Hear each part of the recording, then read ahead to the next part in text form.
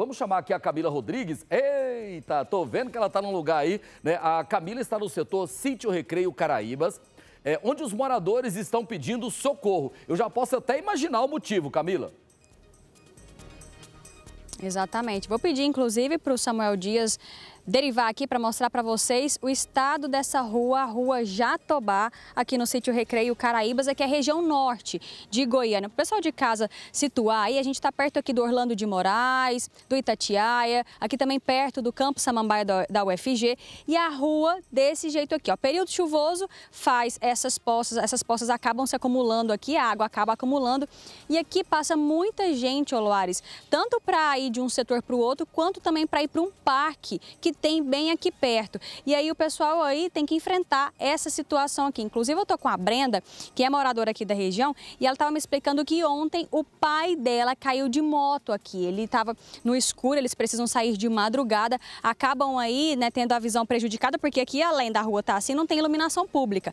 Então eles ficam com a, a visão prejudicada e ele acabou caindo, né, Brenda? Uma situação complicada que tem dois anos já, Olores, que eles cobram providências, mas ninguém nunca nunca veio aqui, né, Brenda? Boa tarde para você. Boa tarde. Não, nunca. A gente já fez várias reclamações para o CEINFRA. CEINFRA dá os protocolos, fala que vai mandar técnico. Técnico nunca veio.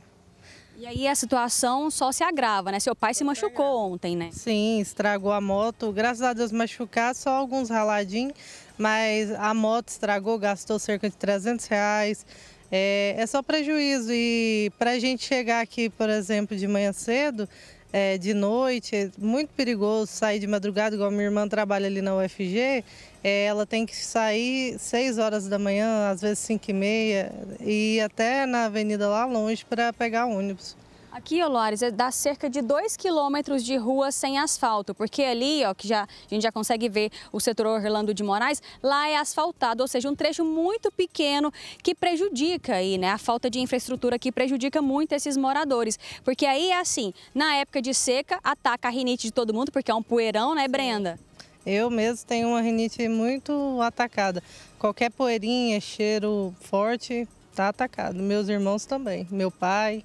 Todo mundo sai prejudicado e essa é uma questão de saúde, né? E aí na chuva, como vocês estão vendo aí, ó, começou a garoar aqui já, é lama, lamaçal. A casa não para limpa nunca, né? Não, é, lá, tem que passar pano e lá, ou senão tacar água todo dia, porque senão não para limpa.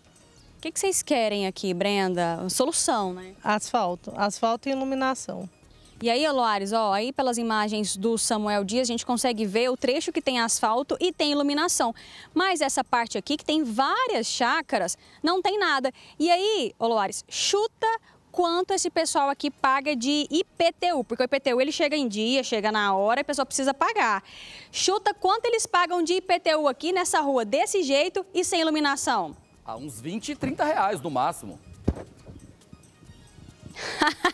deveria ser isso, aliás, deveria ser isento. Eles pagam 5 mil reais. É isso mesmo, 5 mil reais. É, ah, inclusive a Brenda me mostrou o talão agora há pouco, ou seja, o IPTU custa esse absurdo e zero de infraestrutura. Não, não tem infraestrutura nenhuma, não tem iluminação, não tem asfalto e a gente tem que pagar, porque se não pagar, é, vai o nome para o SPC e eles não querem saber, mas a conta chega, né?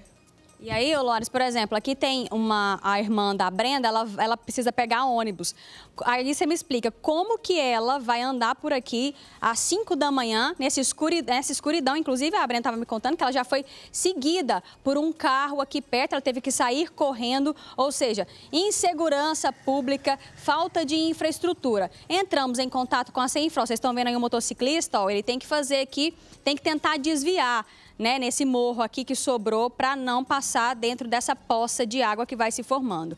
A Secretaria de Infraestrutura mandou uma nota para a gente informando o seguinte, que até terça-feira que vem vai mandar uma equipe para cá para analisar a situação. Ô Loares, a gente vai continuar cobrando. Ó, o carro passando por aqui, ó, tem que passar devagarinho, porque senão estraga o carro. Inclusive, nosso carro da equipe de reportagem teve que fazer um desvio aqui dentro do mato, porque não dá para passar. Aqui é bem complicado. E aí você não vai arriscar colocar o carro para saber a profundidade desse buraco, né, Loares? Então a gente está aqui cobrando, olha lá o pessoal, onde é que eles passam lá, ó, tentando realmente sair e o carro estraga mesmo, né, Luares? Não tem, não tem como desviar aqui sem causar algum tipo de estrago, algum tipo de dano aí nesses veículos.